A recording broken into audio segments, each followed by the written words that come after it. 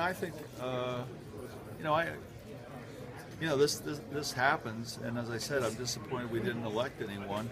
Uh, but I certainly, you know, uh, I did vote, and I, and as one gentleman asked me, I'm, I can't divulge my vote, but I thought there were some people that, you know, deserved to be, you know, in the Hall of Fame. But uh, that is again, you have to reach that 75% criteria. You seem to like